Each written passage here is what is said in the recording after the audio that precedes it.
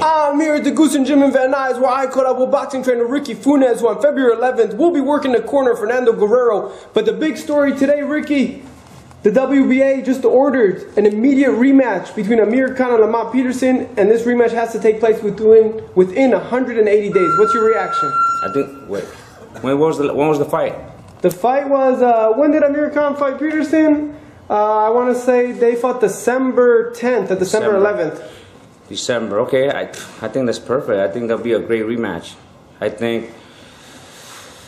eh, be honest with you, I think I think it's great. I think the, the timing is great. It's, it's not like uh, Corrales and Castillo. They wanted a rematch right away. You know, after that brutal fight that they had, it was it was horrible getting them right away within three four months. That's, You were in the corner of uh, Diego Corrales that Yes, fight. that was, that was it was it's crazy. It was brutal.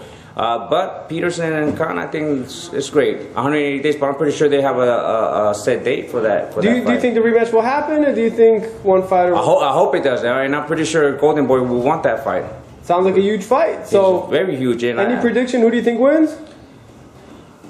I think Peterson might might take it if he puts that pressure like he did in the first fight. Plays a good place, but there you have it. Stay tuned for more. The WBA announced that Amir Khan and Mont Peterson have to have a rematch within 180 days. Stay tuned for more from the Goossen Gym and Van Nuys for ESNReporting.com. I'm Alex back Reporting. reporting.